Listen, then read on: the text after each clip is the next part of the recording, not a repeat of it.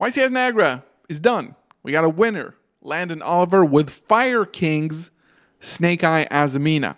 Not very surprising, and I think two of the most expensive cards of Rage of the Abyss have proven their worth because Mulcharmy Fuwalos and, of course, Dominus Impulse are huge in this metagame. We're going to break down everything that happened in the tournament. There's a lot of really cool stuff, new prizing, a lot of top decks that haven't been doing well in the previous format, and Rage of the Abyss is again wide open.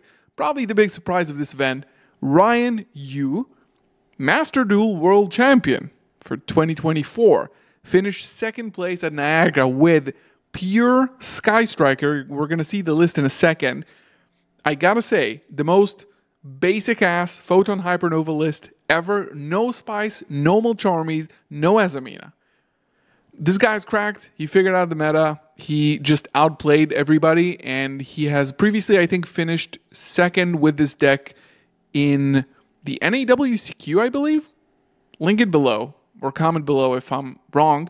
But this has been my surprise for the day, and I gotta tell you, as a former Sky Striker player myself, I think I'm going back. First place in Swiss was my boy Pack. I was like, what is he playing? Snake Eye, Azamina for sure, Yubel maybe. He just almost won a YCS and Sam won a YCS with Yubel. What is he playing? Tenpai? He played Centurion. We're going to see his list. He finished 10 0. I believe it was 10 0 in Swiss. First place in Swiss, out in top 16 of the tournament, but huge achievement. Again, one of the most consistent and successful players of our time. Pack is doing it once again. I think Sam didn't top this time, but alas, YCS champion. New YCS prizes, guys. This is kind of big even though this is not a $10,000 suitcase of cash, right? But still, we still got prize cards. I believe now it is either Steam Decks or Nintendo Switches. Playmat, we got new YCS sleeves, which is exclusive to YCSs, which is really, really cool. It's not a WCQ sleeve, it's an actual YCS sleeve, which hasn't been like that, I think, in the past, or at least in the recent past. In addition to that, a set of four metal magnetic die in here, and this cool frame. I think I covered it on the channel previously, or at least you saw it on Twitter if you follow me there. This frame has been sent out to OTS stores with the Yu-Gi-Oh logo, but now I think top 32 or maybe top 16 got this frame to take home. You can frame cards in it. You can you have the YCS logo. You know, it's not like the most incredible, like it's not a Mercedes, right? But this is cool. Like you get out of the YCS, you get your playmat, you get your prize cards, and of course you get your sleeves, exclusive die, and a frame. Starting, uh, this is starting to feel good. Kudos Konami, listening and hearing. Time for some decks, and especially breakdowns of the room.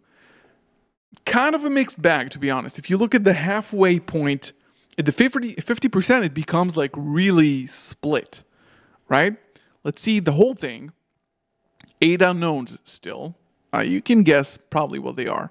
Snake Eyes are the most represented in top 32, right? Which makes sense. Azamina, extremely powerful. I just played in sneak peek. It was, it's a really good deck, right? Fire King are relying on the same engine, same Snake Eye engine, the Azamina stuff that get you to OG, but now have Cordier, Olconix, very solid, apparently, and won the event as well. Now, we got 3 Yubel. I believe Tenpai should be here. I think it says 2 here. I think there were 5, probably. There were a little bit more. 2 is not enough. And of course, second place, Sky Striker. We do see a few decks that we haven't seen in a while, like Labyrinth has been out of the format for a little bit, Centurion, and Rescue Ace. Right? We got, of course, Julius from Europe and one Exodia even. So you can see here, we are back to $1,300 decks. Yeah. If you play Dominus Impulse and Flawless and Purulia, your deck is already at a thousand. This is the winner, Landon Oliver. Pretty standard Fire King list, maining Flawless, which makes a lot of sense. And this, I believe, is the card that is going to define the next format. If your deck can play this card, it is going to be above the rest. Yubel cannot play this card, obviously, because a Fiendsmith card, it locks you out of light, earth, and wind effects for the rest of the duel. But this card is insane.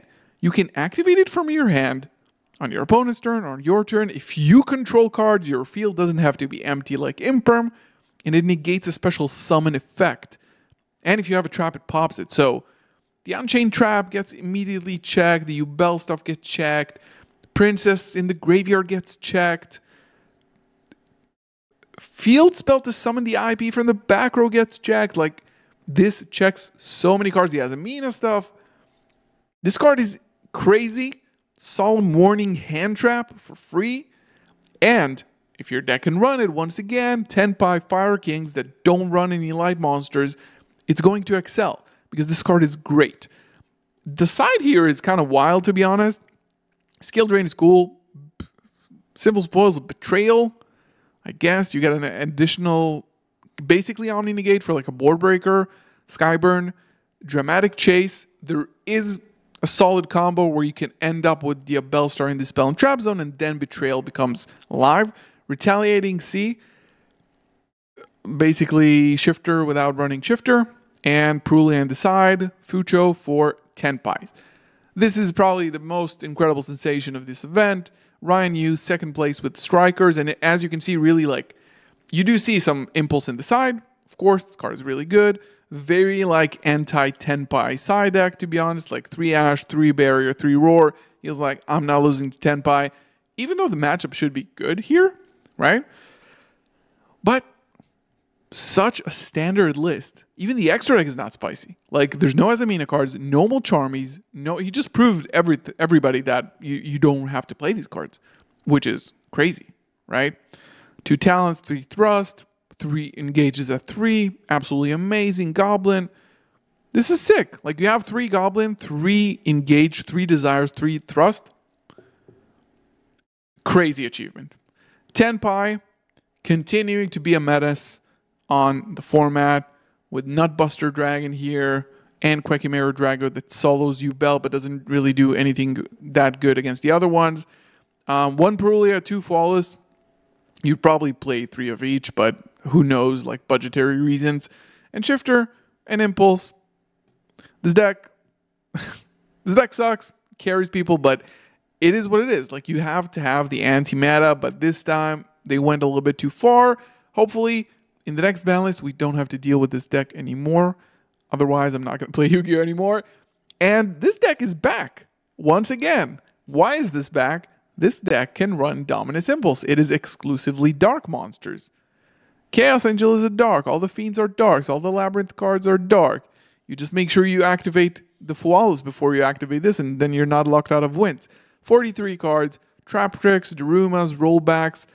We're just leaning on the rollbacks and the Darumas because they're so strong against the link decks. Fire King, Snake Eye, Yubel. And DDGs, D barriers. Funny if they if they played Virus, they could have taken out Ryan Yu. The Bestial Centurion deck from Pac. I don't know. I, I, guess he was looking for a deck that doesn't lose to Flawless, and this deck does it. You special summon from the extra deck once, you set up for an Omni Negate, you play a ton of hand traps. You can see he even went as far as playing Mourners. So three Imperms, two Nib, two Mourner, two Ogre, three Veiler, three Ash, and three more Bystials, which is synergetic to the engine. And then all the Mulcharmies in the side with deck lockdown, such a strong cards, and Prosperity in the side. This guy's crazy. Undefeated in Swiss. That's crazy. And then the most expensive deck in the room right now, once again, a deck that can run Dominus Impulse. And this is how the meta is going to look like. If your deck can run Impulse, you will do good. The Mulcharmies aren't as important as the Dominus Impulse. This is my conclusion from this deck. And this deck still has its, you know, Airlifter is still at one, but this deck is so consistent with three Emergency and Impulse and Bellstar. And the one he's not even playing like you know, the the the deception engine is full combo here because you get to hydrant with OG.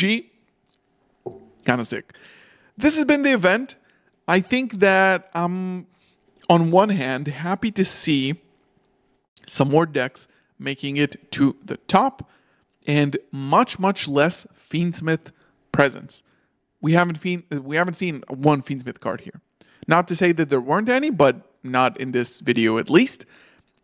More prizes for winners and top cut players. Good. A little bit more diversity, a little bit more like retro decks coming back, but I think it is all symptom of the fact that Dominus Impulse is such a incredibly powerful, absurd card that if your deck runs it, it just floats all the way to the top.